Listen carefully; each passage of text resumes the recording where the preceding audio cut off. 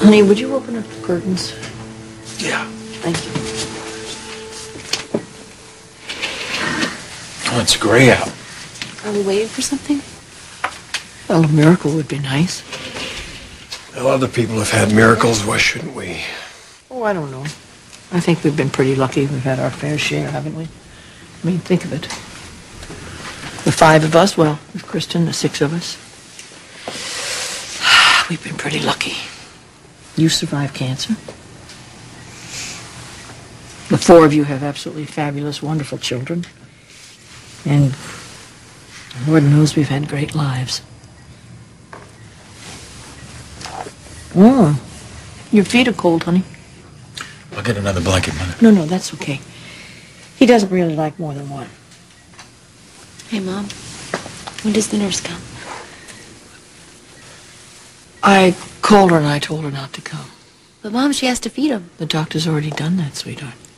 Mother, there are other things they have to do for him. Not now.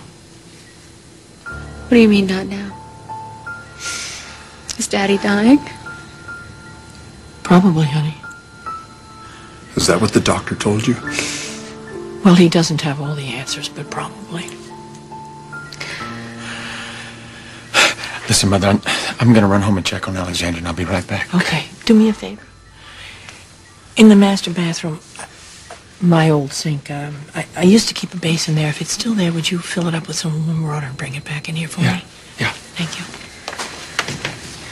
Hey, Mom, you know what? You have to eat, too. Oh, There's nothing in the kitchen. Donna lives here kind of like a college kid. I'll go out and get us something to eat. thank you, sweetheart.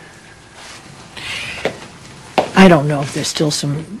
I used to keep towels in that drawer. Would you see if there are a couple in there, and if they are, would you bring them over to me? You're not thinking of giving Daddy a bath all by yourself? no, honey, I couldn't lift him if I wanted to. Please don't try. I won't.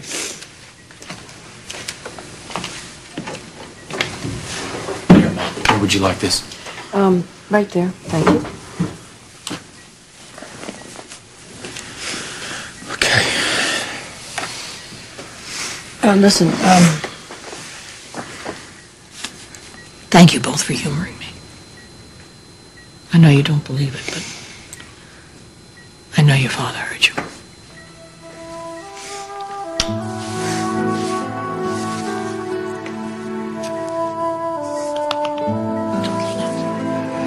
What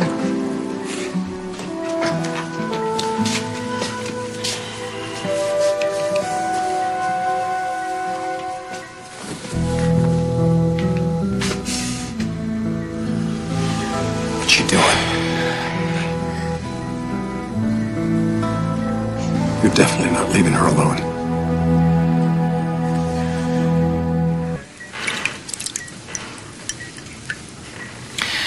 I don't know where you're headed from here, darling, but when you get there, your feet'll be warm.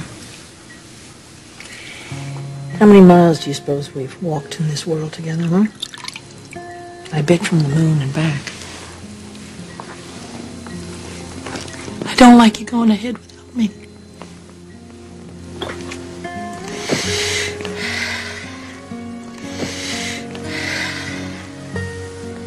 But I can't begrudge you, I think. You will have your little adventures, won't you? Bless you, Eric. Bless you for everything that you've given me in my life. Bless the day you were born and bless the day I first saw you. Bless the day we were married.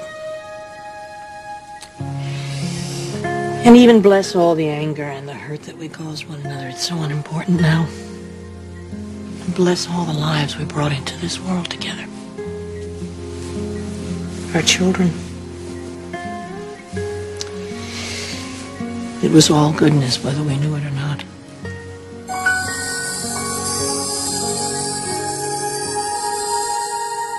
Oh.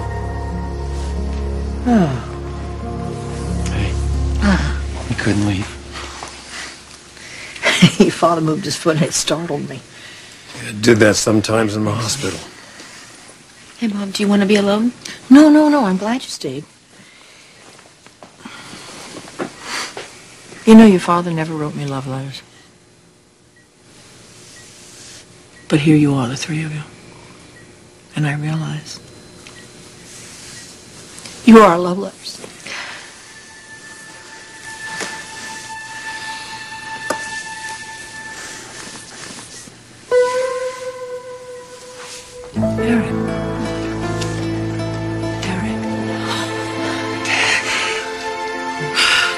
Home, sweetheart. You're here. You're home. You're safe. You're home.